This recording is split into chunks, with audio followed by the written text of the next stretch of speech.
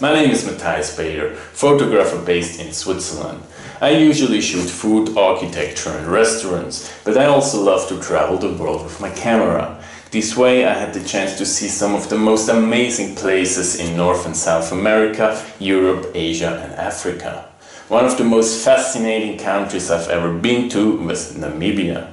And this is why I created this photo book, Namibia, A Tale of Sand and Wind. Namibia is for me one of the most fascinating countries and offers a wide variety of landscapes. From the oldest sand dunes of the world to the coast of the Atlantic, from the endless salt pans of Etosha to the second largest canyon of the world, Fish River Canyon, you will find almost every landscape you can imagine in this amazing country. The photographs in these books focus on those landscapes and the wildlife.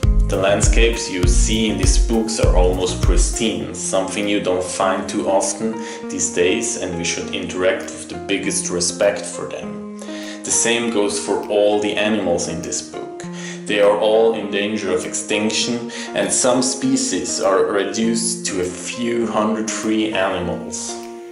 Now let's have a look into the actual book. The final book will be a hardcover with a glossy dust jacket over black linen. It's 7 by 7 inches or 18 by 18 centimeters, 52 pages in length covering 48 images. The landscape images are in color, the wildlife images are in black and white and all texts are in English.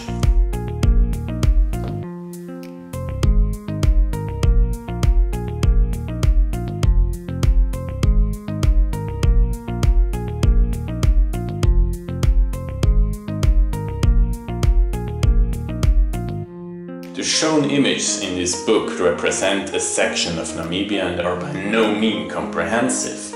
It would take way more pages to do this. However, I hope to give you a chance to remember your own journey, to appeal to you to visit this amazing country yourself, or just to offer you a thrilling look at these wonderful landscapes and animals.